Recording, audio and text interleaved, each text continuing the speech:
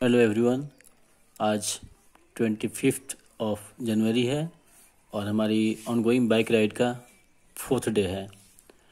और इस fourth day में हम आ पहुँचे हैं भीमकुंड, जो कि छतरपुर ज़िले में है, मध्य प्रदेश के। सागर से इसकी डिस्टेंस 95 किलोमीटर है। अगर आप छतरपुर साइड से आ रहे हैं तो आपको 70 किलोमीटर ट्रेवल करना पड़ेगा। इस भीमकुंड के प्रांगण में एक आवासीय संस्कृत विद्यालय है और सामने मंदिर भी है। यहाँ तक पहुँचने के लिए रोड कंडीशंस काफ़ी अच्छे हैं और Sagar to Chhatarpur main highway है। उससे सिर्फ़ बारह किलोमीटर के अंदर आना है। ये रोड भी काफ़ी अच्छा है। ऐतिहासिक होने के साथ साथ यह जगह रहस्यों से भरी हुई है। तो चलिए आगे देखते हैं इसकी शॉर्ट स्टोरी यह है इस जगह का संक्षिप्त परिचय। कुछ लोगों के अनुसार यह भीमकुंड महाभारत के समय का है तो कुछ लोगों के अनुसार इसका इतिहास और भी पुराना है। वीडियो पॉज करके पढ़ लें।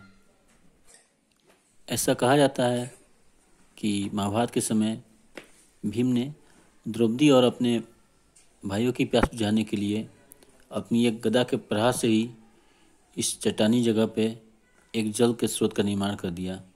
अर्जुन ने फिर अपने तीरों से वहाँ तक पहुँचने का रास्ता बनाया और तब से इस जल स्रोत को भीमकुंड के नाम से जाना जाता है।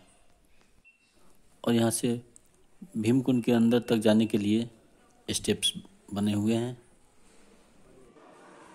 और इसकी छतों को देखिए, इसकी लेवलिंग कितनी स्मूथ है। भीमकुंड में स्नान करने का एक अलग ही महत्व है। इसलिए यहाँ के लोग और विजिटर्स जो भी यहाँ आते हैं, यहाँ नहाते ज़रूर हैं। हमारे पास चूँकि समय की कमी है, इसलिए हम नहा नहीं पाएँगे। सामान्यतः ऐसा देखा जाता है कि स्थित जल स्रोत का पानी गंदा हो जाता है, उसमें से बदबू आने लगती है और उसका रंग भी अलग होता है। लेकिन इस जल स्रोत में प्रतिदिन बहुत से लोग स्नान करते हैं।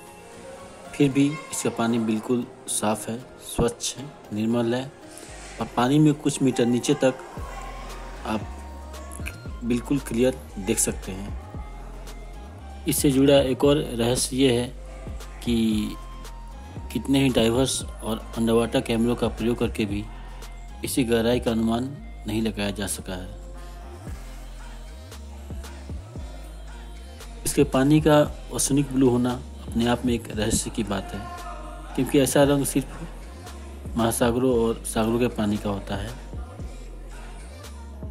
सामान्यतः इस कुंड का जल स्तर एक बराबर सा, एक सा ही बना रहता है, लेकिन किसी बड़े प्राकृतिक आपदा के समय इसके स्तर में वृद्धि देखी गई है और यह एक अपने आप में रहस्य की बात है। सामने जो स्ट्रक्चर दिखाई दे रहे हैं मैन मेड है और रिसेंट टाइम्स में बना हुआ है। और यहाँ से आपको ऊपर आने का रास्ता दिखाता हूँ, जहाँ से होकर हम एंटर किए हैं। और आप देख सकते हैं, पानी में तैरती हुई मछलियाँ और पानी का रंग और इसकी क्लैरिटी कुछ फिट नीचे तक बिल्कुल साफ़ दिखाई दे रहा है।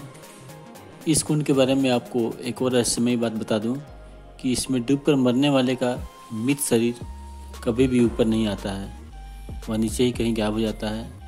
दोबारा कभी मिल मिलता नहीं है।